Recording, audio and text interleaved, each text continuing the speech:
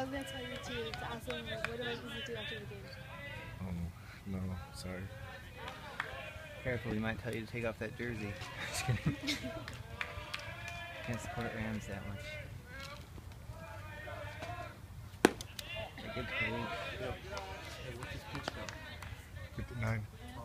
Really? I'm stop shaking.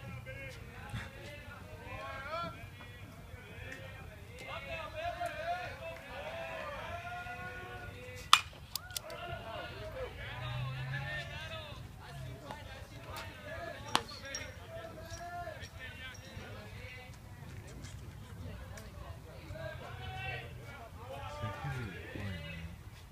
Pay attention to